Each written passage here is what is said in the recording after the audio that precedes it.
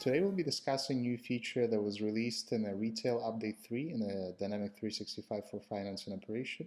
I will be using version 11 with the Retail 3 update. From the first look, the functionality might look insignificant. However, I think it has a lot of potential moving forward, and I'll tell you why in a minute. So the new feature is category management and product creation improvement. So the retail product category management experience now allows merchandising managers to have commonality between retail product categories and release product details. So if you remember, in the previous version of AX 2012, we had a concept of uh, product templates. And uh, the concept still exists in Dynamic 365. Uh, the only difference is that uh, in the previous version you were able to manage existing templates. And what I mean by that, you can actually delete created templates, whether they're private or global. you are able to use the home module and under setup record templates you can actually select the templates and manage them somehow so in the new version of dynamic 365 i was not able to find this form so the downside of using templates in Dynamic 365, first of all, there is no structure. So there's no hierarchy. The records that you'll be creating, for example, if I'm going to create personal template from here, I'm going to call it demo 4, demo 4. Once the template is created from my uh, release product 01, there is no way for me to delete the record. I was not able to find it. And if you are able to delete the record from a user interface, let me know in a commentary how it's done. So for example, if I click apply template, we can see that my demo template is here. I can apply it and the template was created from my O1 product, but there's no way for me to delete that record. Uh, so why I'm start, why I'm talking about templates, uh, let's jump back to the, to the statement here. So I've seen a lot of companies are kind of afraid of retail module in a day-to-day -day scenarios. And uh, I'm actually pro retail when it comes to implementing any type of Dynamic 365 project, whether it's manufacturing environment or any other type of business that you're working with. And I'll tell you why. So in the previous version of uh, AX 2012, the retail category hierarchy consists of the following features. You were able to link release products to a specific retail category and specify some information on a release product and uh, later you can use that retail category hierarchy on the, during the product creation process to apply that somewhat templated information. So you're able to use your uh, tracking dimensions, storage dimensions, uh, default unit of measure, I think it was inventory default unit of measure, etc.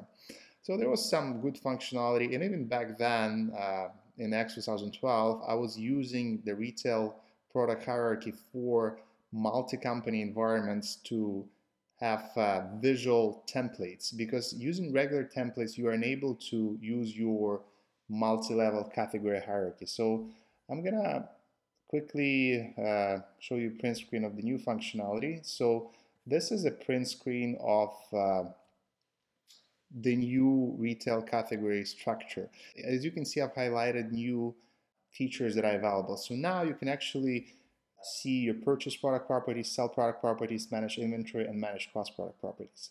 So I'm going to quickly switch back to Dynamic 365 environment. And from here, I will open uh, my release product and I will expand my purchase and I'll expand my sell tab, just an example for you guys. So I'm going to switch uh, to a different form, which is our retail product hierarchy.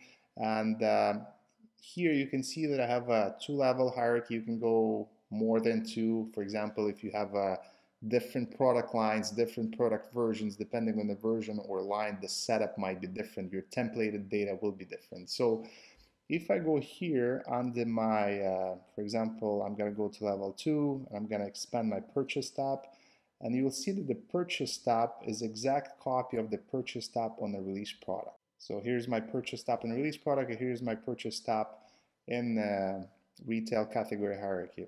So another big plus is that these templates are legal entity specific. So if I'm going to click edit and I will select uh, USRT, this is the legal entity I'm using for this demo, I will specify my default information specific to a legal entity. This is really nice and I assume companies that will be interested in this feature that will have multiple companies uh, Uh, so just as a quick demo, I'm gonna select a default vendor. I'm gonna set it to one of three, and I'm gonna have a price set to 300.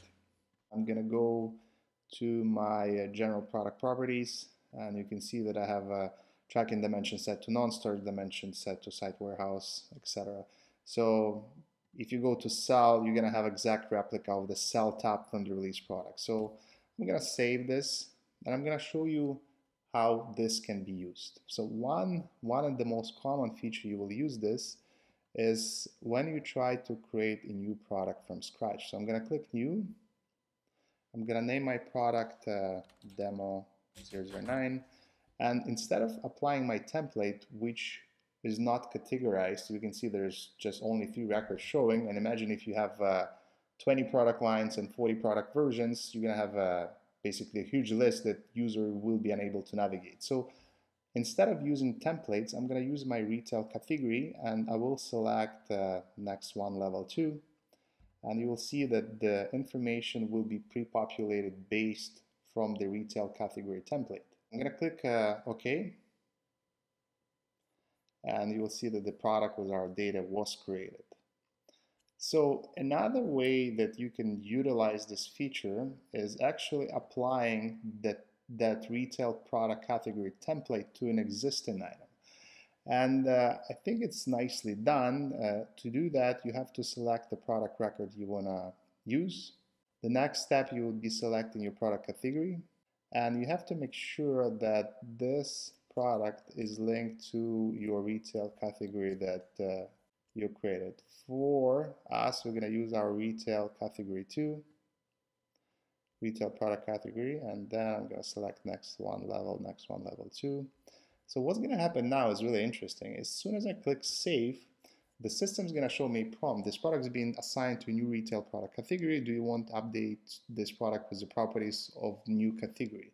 So I'm going to click yes, and the beautiful part here, the system is going to prompt